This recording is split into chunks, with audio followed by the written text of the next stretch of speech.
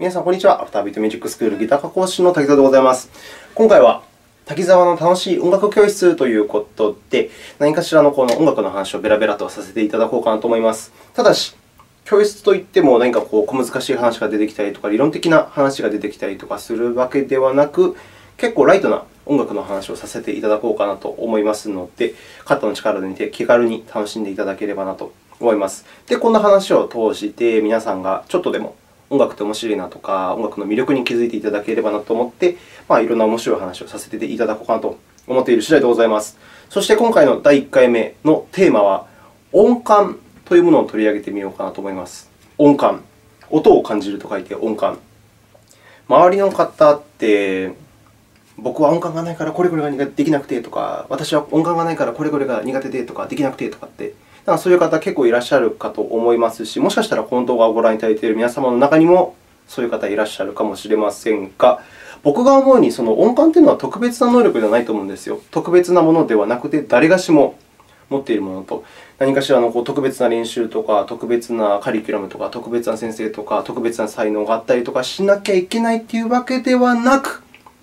普通に人が生まれて育っていく中で、誰がしも必ず普通に持っている能力だと思うんですよね、音感。どういうことかと言いますと、とりあえずちょっとギターを弾いてみていいですか？ギターを弾いてみます。僕が今から軽く、軽くちょっと弾いてみますので、少し聴いてみてください。まあ、これ、ダメって言われても困るんですけども、よかったら聴いてみてください。やってみます。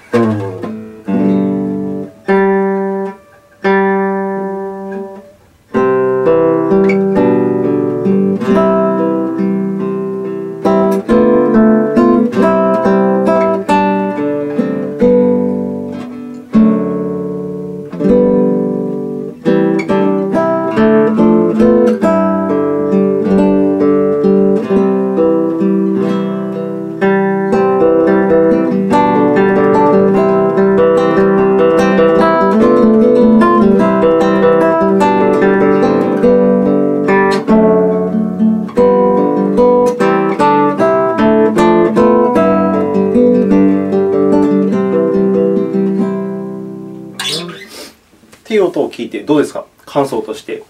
まあ、普通の方は、普通というか、まあ、多くの方は大体そのクラシカルだなとか、なんかこう綺麗だなとか、美しいなとか、なんかこう透明感があるなとか、そんな感想を抱いた抱いたかと思うんですけれども、何かしらのこの感情が湧き起こったならば、それはすでに音感を持っているということになると思うんですけれども、どうでしょうか？もし仮に音感がゼロの人が今の演奏を聴いたならば、何か音が鳴っているで終わってしまうんですよ。で、その何か音が鳴っているというのは別に心地が良いか、心地が悪いかとか、そういうのも別として、もうある意味ノイズとして感じるかもしれませんし、そこから美しいなとか、なんか楽しいとか、綺麗とか、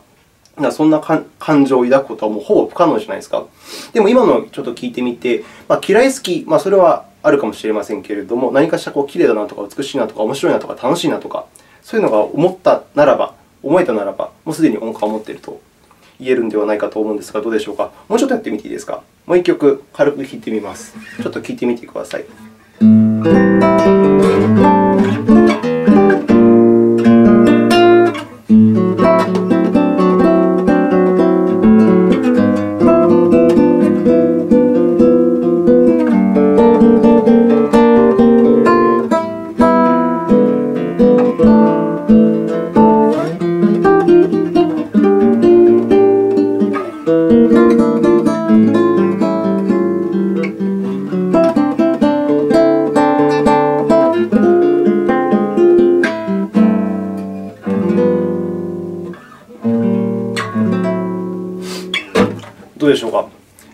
いてみると、まあ、マイナー調の曲なので、やっぱりこう悲しいとか、なんか儚いとか、なんか赤いとか、寂しいとか、かそんな感じの感情が湧き起こったかと思うんですが、まあ、これを聞いてハッピーと思う人もいるかもしれませんけれども、まあ、何かしらのその感情がやっぱり出てきますよね。これこそがまあその音を感じる音感だと思うんですよ。もう誰がしも必ず持っていて、それがゼロの人もまあ中にはちょっといらっしゃるかもしれませんけれども、ほぼほとんどの人が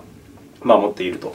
いうことでございます。でも、この残念なことに、この音感ってものが優れているか劣っているかというよりも、豊かか豊かじゃないかというのは、ある程度やっぱあるんですよ。でも、それがまたその特別な才能というわけではなくて、その音感を磨く練習をしたかしてないかということなんですよね。先ほど僕がそのギターを弾いたときに、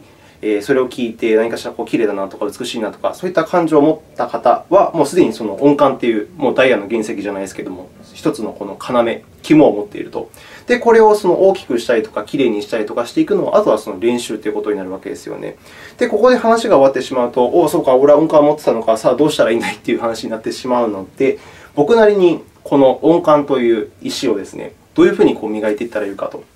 その話をさせていただこうかなと思います。どういうふうにこの音を感じていったらよいか。すごく平たく言うと、もう自分の100%を使ってですね、音を楽しむということです。例えば、今の演奏を聴いてみて、こうパッと聴いて、あ、綺麗だなって終わるんじゃなくて、もう何回も何回も聴いたりとか、もうすごい100%集中したりとかして、も全身を使って音を聴くわけですね。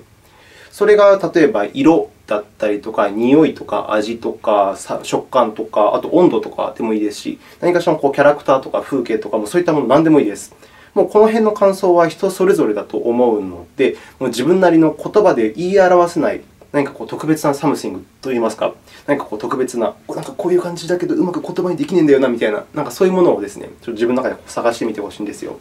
単純に1回聞いて、ああ、綺麗だなって終わるんじゃなくて、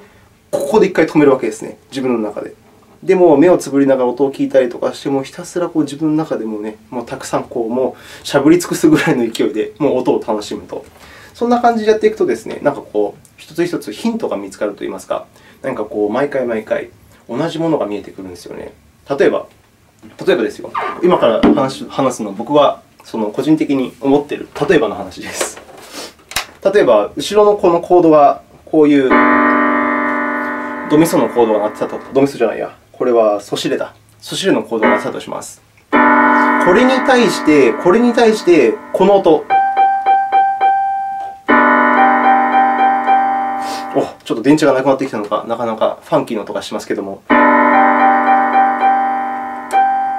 の音。この音を言葉ではなく、とりあえずもう感じ取ってくださいと。正解はもちろんないので、もうその辺はもう皆さんにお任せするんですけれども、僕にとってのこのコードに対するこの音は小人で表すと、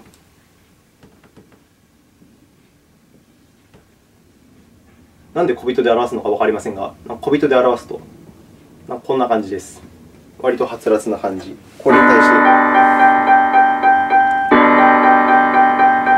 僕の中でこんな感じの小人です。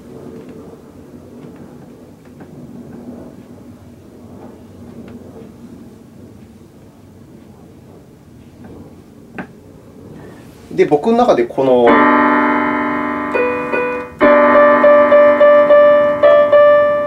この音はこれで、この音はなんかこんな感じなんですよね。ちょっと驚いているというか、というか少しこう戸惑っているというか、なんかこう、もう一歩、もう一歩先に行きたいみたいな感じの顔。で、3つ目、この音。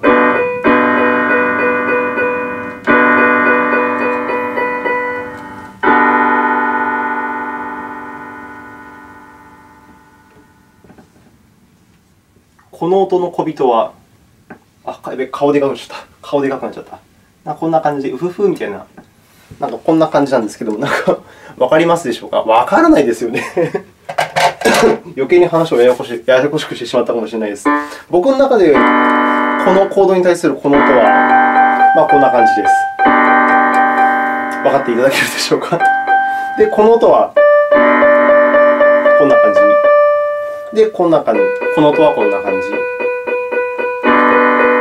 ということです。そのそれぞれの音がソの音、レの音、シの音とか、そういうふうな理論的なことではなくて、こんな小人とか色とか風景とかでもいいので、何かしらのこのサムシング、自分なりのサムシングで音を感じ取ってみると。で、もし何回も何回も音を聞いて、いろんなこうイメージをするじゃないですか。で、僕の場合は今、今回、その小人で表してみたんですけれども、違う曲を聴いたときにですね、またこいつらに会うときがあるんですよ。あれ、なんかこの小人っぷり、なんかどこかで聞いたことがあるぞと。そうすると、この小人の正体というのが感覚でわかるようになるんですよね。一回聞いただけで、あ、これ絶対あのこいつ、絶対こいつとか、キーボードとかあのギターとかで試さなくても、あ、この音は絶対にこいつっていうふうにこう分かるときが来るんですよ。で、そのサムシンがまあ、ね、皆さんにお任せするので、それは何になるかわからないんですけれども、こんな感じでね、もうひたすらこうイメージを膨らまして膨らましてやっていくと、どこかしらでこの曲とこの曲とこの曲には共通の何かがいると。だからそういうふうにこう、ね、認識ができてくるようになってくると思います。で、その後にもし興味があれば、理論的なことを学ぶと、こいつがトニック、こいつがファーストノートかとか、こいつがフィプスっていうのか、こいつがサードっていうのかっていう感じで、もう全てがこう紐がつながっていくようになるんですよ。まずそのためには、まあ、ひたすら自分のこう、ね、音感を磨くというか、大きくするというか、そんな感じで育て上げなければいけないので、何度も言いますけれども、聞いた音を自分の100%の力を使って楽しむ、イメージする、想像する、感じる。そんな練習をしてみていただけるとすごく嬉しいなと思います。ギターを演奏する場合もそうです。ギターをこう単純にバーッと弾いてかっこいいで終わるんじゃなくて、この音はどんな味がするだろうかとか、どんな色だろうかと、どんな風景だろうか、誰が登場するのか、セリフは何なのか、情景はどうなのか、その関係はどうなのか、なんかそんな感じで、もうひたすら自分の100%の力を使ってイメージをしたりとかしてみてください。えー、パッと聞いた感じ、何言ってんだこいつはと 思われると思われると思うんですが、でも何回も何回も繰り返していると、もう僕の言っていることがなんか自然と分かってくる日が来ると思います。えー、ぜひそんなことを信じて、音感の練習、音感を磨く練習やってみてください。普通にもう日常に日常で音楽を聴いているときでも全然大丈夫です。楽器を弾いているときじゃなくても大丈夫。普通に音楽を聴いているとき、鼻を歌っているとき、テレビの音を聴いているとき、友達のギターを聴いているとき、どんなときでもいいので、体の全体を使って音楽を楽しむ、音を感じる、やってみてください。そうすると音感が不思議と良くなってくる。これは嘘じゃないぜ。そんな感じで第1回目の今回の動画を終わりに出しましょう。2回目はリズム感ということについてお話をさせていただきたいと思います。それではお楽しみに。さようなら。